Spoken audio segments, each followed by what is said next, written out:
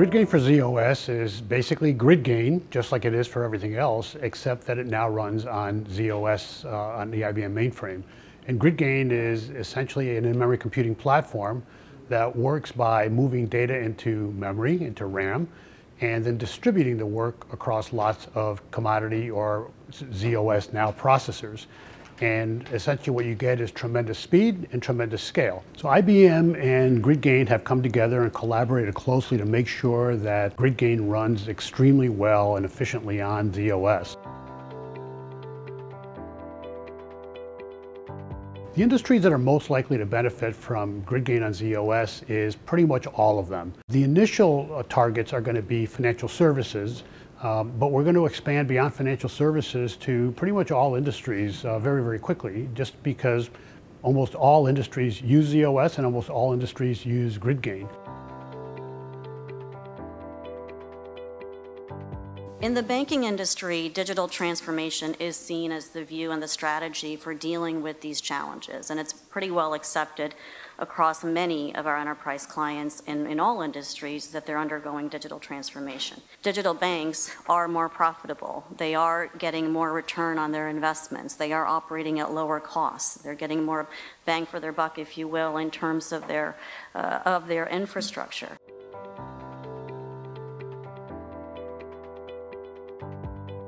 One of the ways that they can compete is to leverage the information they have across multiple lines of business about their consumers. So for example, if we bank with, uh, with a particular institution, they may have information and we might have products from them around our core transactions, loans, mortgages, cards, we may be small business owners, they have that information as well, or even investment services. So integrating that information and being much more agile in how quickly they can offer services and products that pull that information together across multiple lines of business can be a significant advantage in terms of meeting that competition. But the underlying systems are often very siloed. They've been built up based on application or they've been built up based on a bank strategy for acquisition. So as a result, often these systems are siloed and not tied together from the perspective of information flow across them.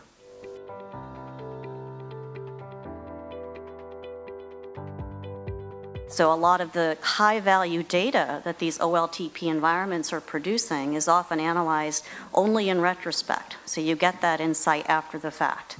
So there's a lot of technical challenges that exist today. There's also an opportunity, of course, to work with clients to help modularize their environments, find the right uh, granularity points to create those APIs, and introduce a more structured approach to real-time insights.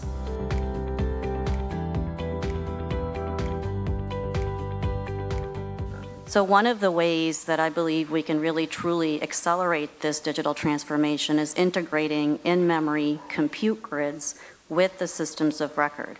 Um, and in this case, by compute grid, it's really a combination of in-memory advanced databases, such as Ignite, combined with a sophisticated data abstraction and virtualization technologies that can access the core data from OLTP systems and do so in a way that's highly performant, do so in a way that does not impact the OLTPs, and be able to actually maintain a, a very coherent compute grid.